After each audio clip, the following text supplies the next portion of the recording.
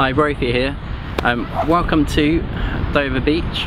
It's the uh, famous swimmers beach where all the channel swimmers for this year, next year and even the year after come to train uh, down in the Dover Sea.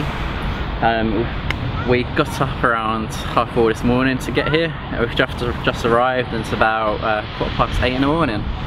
So um, I'm now waiting for the uh, world famous Freda to uh, tell me how many hours I'll be doing today for my uh, final swim before I attempt my channel swim attempt.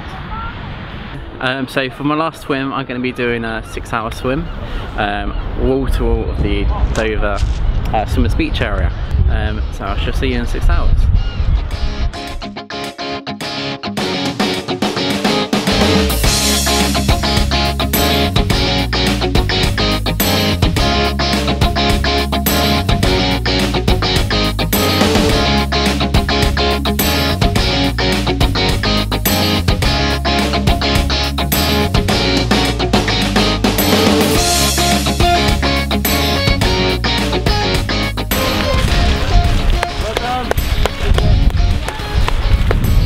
Hi, welcome back. It's now 20 past 4. Uh, I've completed my 6 hour swim.